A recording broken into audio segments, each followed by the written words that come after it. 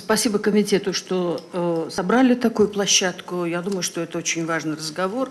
Я не удивляюсь и перед пятым годом, и перед десятым годом. Э, общественность никто не удостаивал вниманием от э, властей. Э, и, наверное, стоит здесь камера, которая все запишет, и они уже э, не спеша дома внимательно посмотрят, о чем мы здесь все говорили. Заканчивается президентский срок и стабилизационная миссия э, президента Атамбаева. Кыргызстан другая сегодня страна, утверждает спичрайтер, советник, сам президент. Такому определению оценку даст последующая жизнь, предстоящие выборы, итоги которых будут задавать основной тренд развития нашей страны на ближайшую перспективу. За пять месяцев до выборов президента на поле курсирует пара-три кандидата.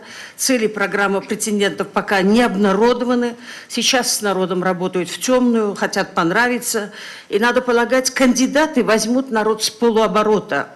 Их самые крупные идеи так или иначе все слышали во время последних парламентских выборов – те, кто уже выдвинулся, люди небезызвестные, поработали министрами, даже премьер-министрами. Сейчас ряд из них депутаты Джоркенеща. Все ступени они прошли, были министрами, э, премьерами, осталось только стать президентами. Такая вот логика, и народ точно так их и понимает. Куда они поведут народ следующие шесть лет? Какие программы каждый из них нам сулит? В чем их суть? Отвечают ли они чаяниям людей времени? Это все пока сюрприз. Между тем, в Кыргызстане мы должны двигаться в ногу со всем миром в соответствии с повесткой дня в области устойчивого развития до 20, 2030 года, утвержденной Генеральной Ассамблеей ООН э, в, э, осенью 2015 года. В ней обозначено 17 целей и параметров развития. Каждой группе стран в соответствии с их возможностями, каких высот они должны достичь в 2030 году в самых разных областях жизни. В развивающихся странах, как наша, где требуется финансовая, интеллектуальная помощь разработке такой программы на следующие 15 лет развития, нам помогает международное сообщество во главе с ПРООН. По поручению Атамбаева до июня большая сборная команда разработчиков усиленно готовит национальную стратегию видения будущего страны, в данном случае до 40 года под названием «Тазаком», и, как велено, вместе с программой действий и с четким планом ее реализации. Под нее подтянуты все средства международного сообщества. Это грантовый проект – мы благодарны международному сообществу за нужную, важную финансовую экспертную помощь в подготовке такой долгосрочной стратегической программы для страны. Здесь сидят спонсоры наши, доноры. Я хочу прежде всего обратиться к ним. В избежание конфликта интересов – когда мы вступаем в предвыборную пору, хотелось бы ясности и определенности в назначении использования этого документа. Он не должен стать предвыборной платформой кандидата от провластной партии. Это должен быть общенациональный документ, над реализацией которого будут работать будущий президент, правительство, парламент и народ Кыргызстана. Он должен быть до выборов еще представлен для широкого рассмотрения обсуждения, и в силу его всесторонности и основательности стать, он станет основой и ориентиром для предвыборных идей платформ всех кандидатов, которые выходят на выборы. Я уверена, что так понимают назначение и использование средств международного сообщества все доноры, работающие в стране. По всем международным канонам они не могут и не должны работать в интересах только одной стороны. В этом вопросе мы хотим четко сегодня определиться и внести ясность на берегу. Наступающие выборы для народа и страны очень важны. Избранный президент вместе с нынешним и новым от 2020 года рождения парламентом должны дальше укреплять основы государственности, новые формы управления, чьи преимущества еще пока не раскрылись в полной мере – молодой парламентской стране есть три ведущие властные позиции. Все мы знаем, президент, который, благо, не избирается пока парламентом, но всенародно у него достаточно сильные позиции. Но с тобой я, Тимирлан, не согласна, что он э, и дальше будет определять все на свете. У него меньше прав, чем в президентской стране. Глава правительства от имени парламентского большинства, особенно последние поправки в Конституцию укрепили его еще более, у правительства основной мандат на управление страной, повседневной жизни, экономическое, социальное развитие страны в руках премьера. Хочешь и можешь, делай премьер из страны игрушку. И глава парламента, чья роль еще нами недооценена, так как еще не раскрылся сам парламент – он не стал еще центром политических процессов принятия жизненно важных решений для страны. Наш выбор парламентского пути развития, на мой взгляд, стократно оправдан. Мы сегодня стоим на уровне фундамента государственного строительства. И у нас наверху не один человек, а два сильных, способных, талантливых человека должно быть. Мы, хотя и прошли четверть века, но дел у нас очень много. Очень э, э, много дел в экономике, кормить, учить, лечить народ, создавать рабочие места. Всем этим занимается премьер-министр. Президент же, как глава государства, олицетворяя единство народа и государственной власти, имеет свой мандат. Он отвечает за внешнюю политику государства – как глава Совбеза и прямой куратор вооруженных сил и сил безопасности, он отвечает за безопасность граждан и государства, реформы в этих областях. И прямая ответственность президента – это реформа судебной системы. Без этого мы поняли, что нам никуда нет пути. Если сравнить с развитыми странами, независимые суды столетиями там работают, вне зависимости от центральной власти. У тех государств, как и их президентов, голова не болит по этому поводу. Это самостоятельный, саморегулирующийся уже механизм.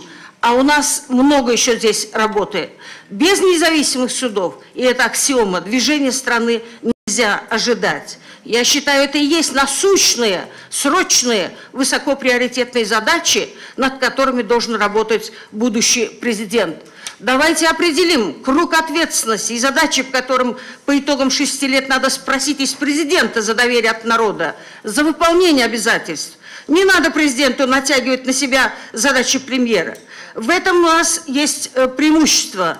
Наверху не один, а два человека, кто должен тянуть государственные вожжи, добиваться результата. Те, кто идут в президенты сегодня, они готовы сделать значительные подвижки, двинуть вперед реформу в судах, очистить их от скверны, набрать чистые кадры, создать дорожную карту реформы судебных органов, безопасный квартал, город, безопасная страна. Будем ли мы в таком, э, э, в таком измерении жить?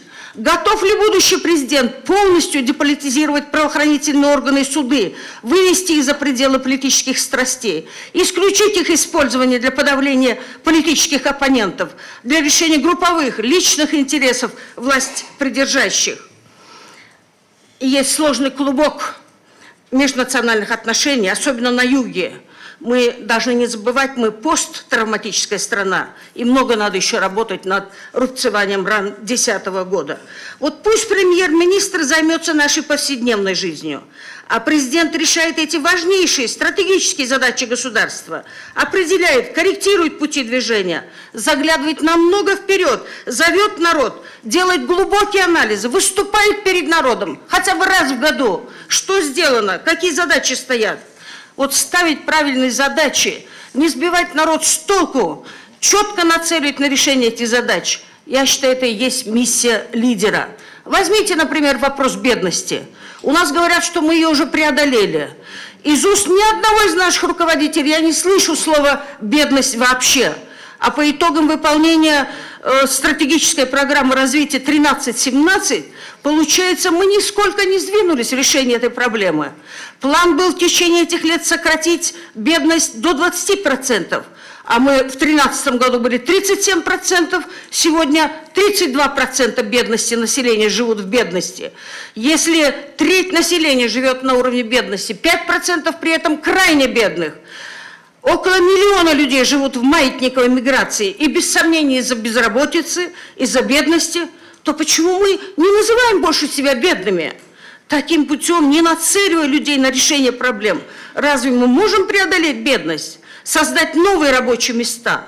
В Китае за последние десятилетия они сократили бедность на 450 миллионов людей. Компартия Китая нацеливает все регионы на преодоление бедности у оставшихся 60 миллионов. Такую острую, важную задачу, называя вещи своими именами, президент второй в мире державы Си Цзиньпинь ставит в своих речах с момента своего прихода. Почитайте книгу «Государство. Управление государством», которая есть у всех на руках. И постановкой только таких четких задач, нацеливанием на ее решение всех руководителей, наш сосед добился уровня ВВП 8 тысяч долларов на душу населения. Уважаемые участники этого форума, я недавно была в Э, в Узгенское, э, в Аюсай Узгенского района. О цифрах этой трагедии мы наслышаны, и поскольку здесь много журналистов, хочу обратиться и к вам.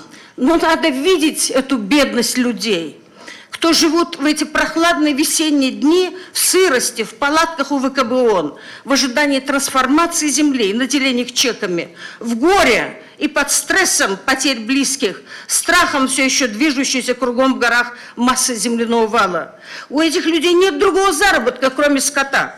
Они пасут скот, этим кормятся. И так они живут все эти годы в горах.